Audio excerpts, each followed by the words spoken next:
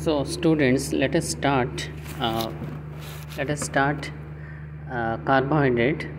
You have already seen uh, classification of carbohydrate, uh, uh, monosaccharide, disaccharide, uh, polysaccharide. Under polysaccharide, you have seen starch and glycogen. So, what is the difference between starch and glycogen? glycogen is highly branched okay? So you have seen uh, mucopolysaccharide or under heteropolysaccharide you have seen mucopolysaccharide or glycose aminoglycan what are the example? Chondroitin sulfate keratan sulfate dermatan sulfate heparin and all. Heparin act as uh, anticoagulant.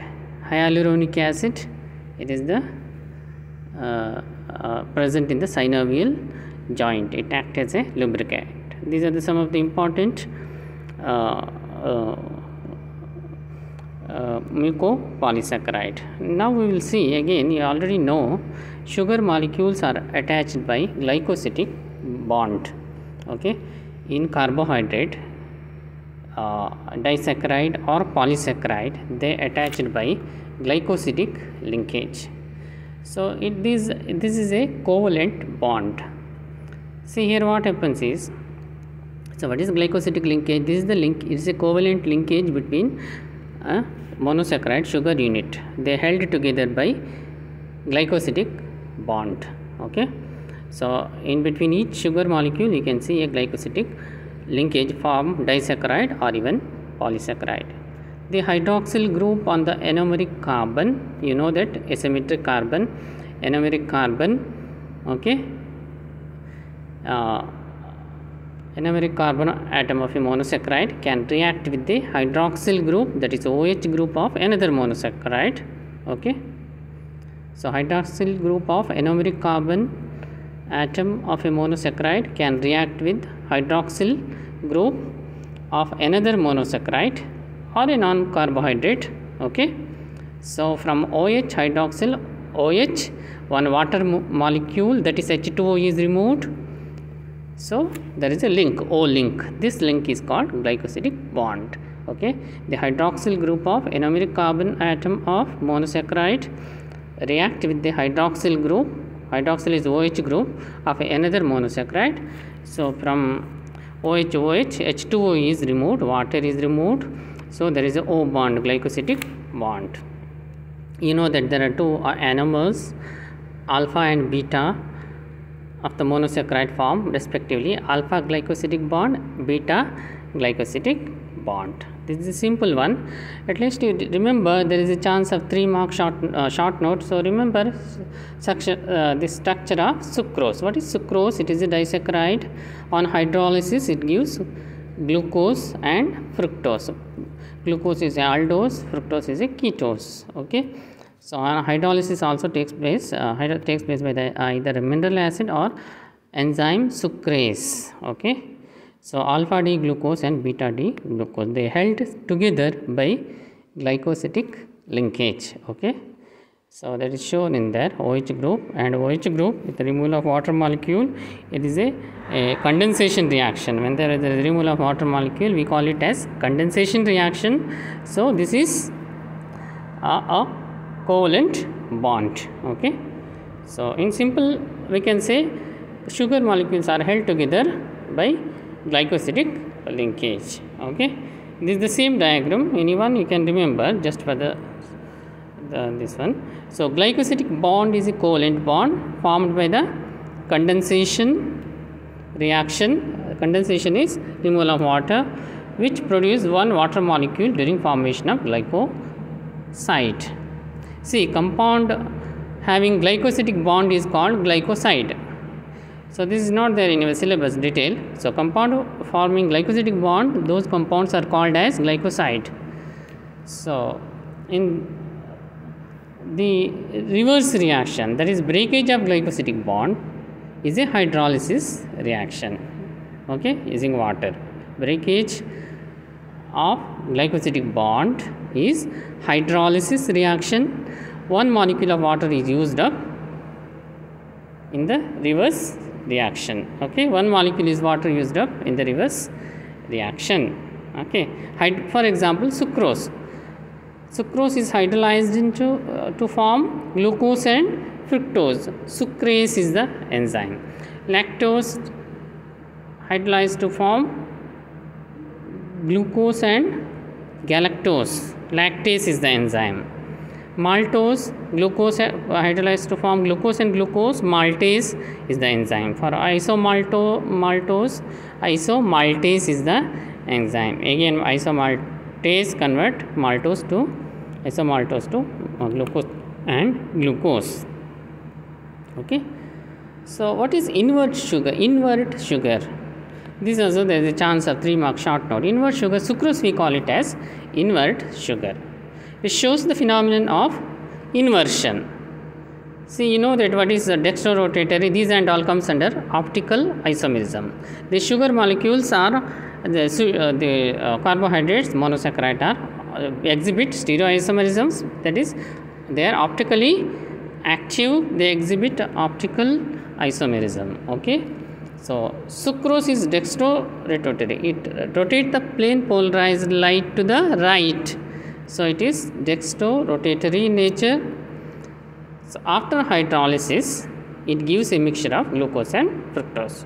Sucrose break down to give molecule of glucose and fructose the mixture is levo minus rotatory it rotates the plane polarized light to left.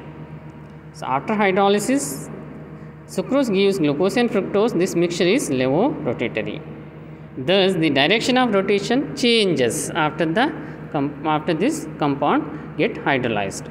First dextro then it turns to after hydrolysis it turns to levo rotatory this phenomenon is called inversion okay the mixture is levo rotatory because fructose is more levo minus 92 so mixture means it contains glucose and fructose.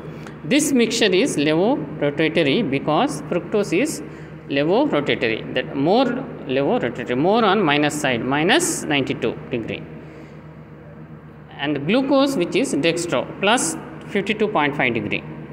Because of this property, hydrolyzed product of sucrose is called invert sugar. What is the hydrolyzed what is this hydrolyzed product of sucrose is nothing but glucose and fructose mixture of glucose and fructose. This hydrolyzed product of sucrose is called invert sugar. And the enzyme which is responsible for hydrolysis this invert sugar uh, formation is invertase okay? Invertase. Sucrase is called invertase. Sucrase hydrolyze uh, sucrose to glucose and fructose so, so it's an inverse sugar so sucrose is also called as invertase okay? Let us briefly see derivatives of monosaccharides. There are many amino sugars and other things. One important derivative is sugar acids oxidation of aldehyde or primary uh, alcohol group in monosaccharide result in sugar acid so oxidation of aldehyde or primary alcohol group in monosaccharide result in sugar acid. There are many important is glucuronic acid. Okay? If you are studying metabolism uh, uh, mlt and other students they will uh, learn in detail. Glucuronic acid is a sugar acid okay which is used in the conjugation and detoxification of toxic substances like bilirubin. Bilirubin is formed by hemoglobin okay? High bilirubin cause in the serum cause uh, is response uh, is a uh, uh, disease condition called jaundice you know that. So bilirubin from where it comes? From rbc uh, uh, okay? Uh, matured rbc lyse and uh, bilirubin is formed okay? Bilirubin is toxic as such. It should be conjugated and water soluble okay? How it is possible? It combined with glucuronic acid okay? To form bilirubin diglucuronide. That is the reaction. So this glucuronic acid is sugar acid. Briefly you should know. Example for sugar acid is glucuronic acid is used in the conjugation and detoxification of toxic substances like bilirubin okay? Sugar alcohol. Before is sugar acid. Now this is sugar alcohol is produced by reduction of aldoses and ketoses what is aldose?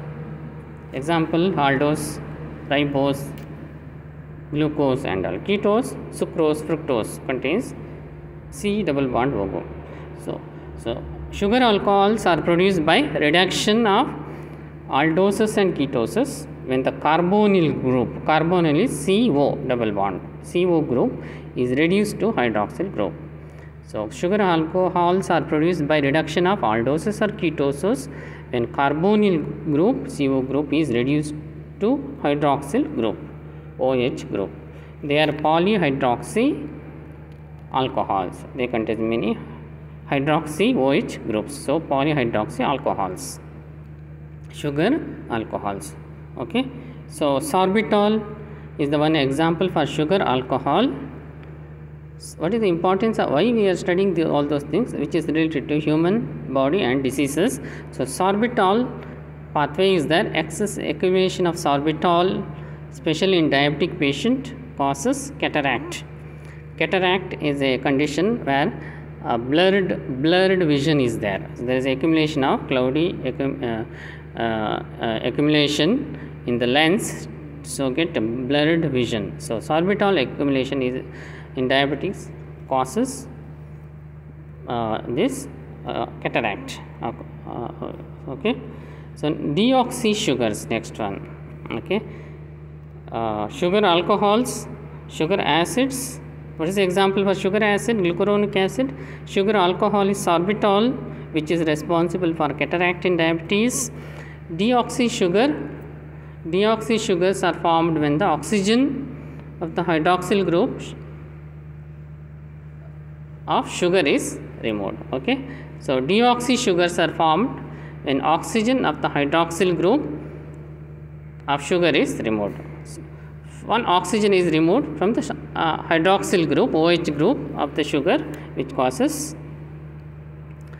uh, uh, which forms deoxy sugars. So, deoxy sugars are formed when the oxygen of the hydroxyl group of sugar is removed deoxy.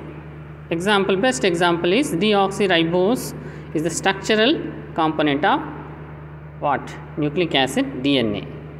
Ribose is uh, present in sugar pentose present in RNA deoxyribose present in DNA so uh, deoxyribose is the structural component of nucleic acid.